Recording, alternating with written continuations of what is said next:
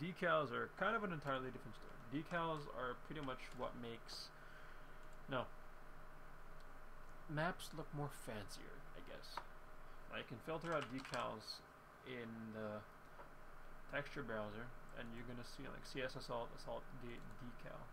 It's not gonna make sense, but I'm just gonna show you what it does. I select a decal tool with a, a decal texture. If you just filter it out in a texture browser, it'll look like that. See, it's seamless pretty much. I'm I'm just gonna leave it in here so I can. At the end of the day, I'm gonna show you what I've made for all of y'all. Now see, that, that might happen. And I don't like that. I don't like that happening. Like, now there's a decal. Just move it off to the side a little bit or something like that. Like so. Or I just want to actually rotate this that way. Did it even rotate the right way? Or is it...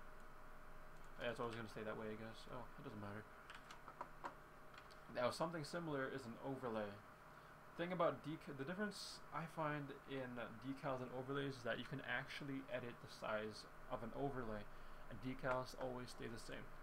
So, um, I'm gonna apply this now. Decal like that. You can't change the size or anything like that.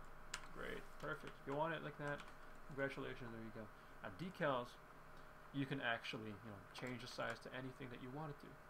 So you want to put it like that. Now if I do it like this and just drag, there you go.